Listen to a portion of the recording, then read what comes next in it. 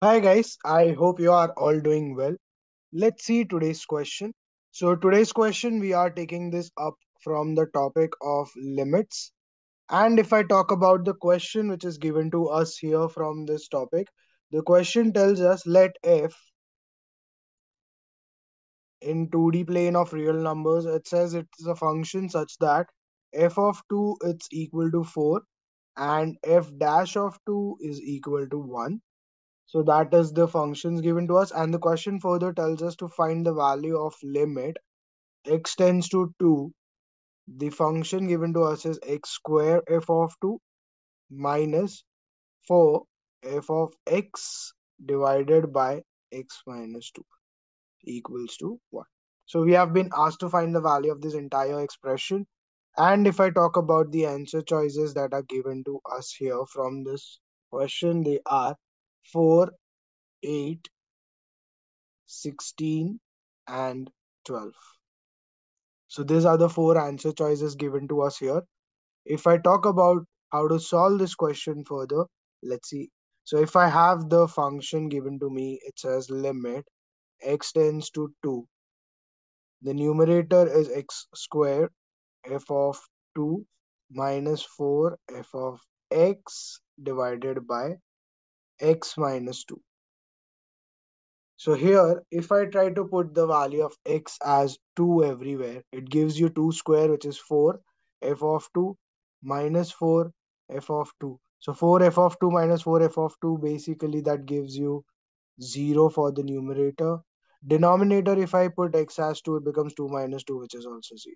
So you have this limit in the form of 0 over 0, and that basically makes it an indeterminate form.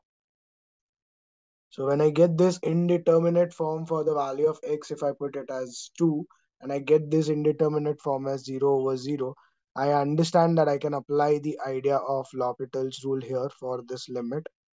So if I do that by L'Hopital's rule, what we can do here is when I can apply L'Hopital's rule, I can separately find the derivative of numerator and the denominator. So let's try to find the value or the derivative of the numerator and denominator separately.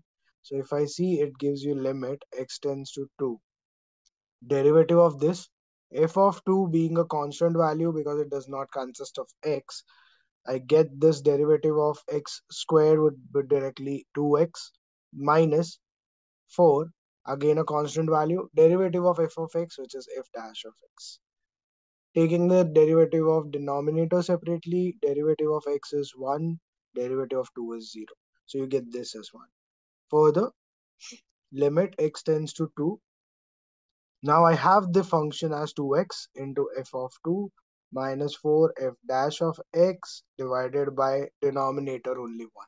So if I just substitute the value of x as 2, this gives me 4 f of 2 minus 4 f dash of 2 divided by 1.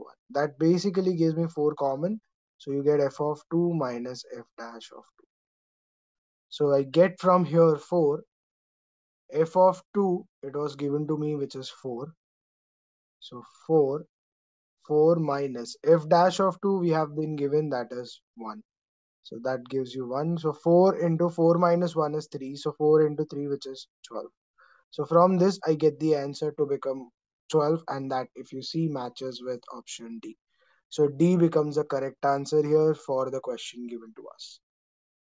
I hope you have understood how to solve this type of question. This was a pretty easy question. We just substituted x as 2.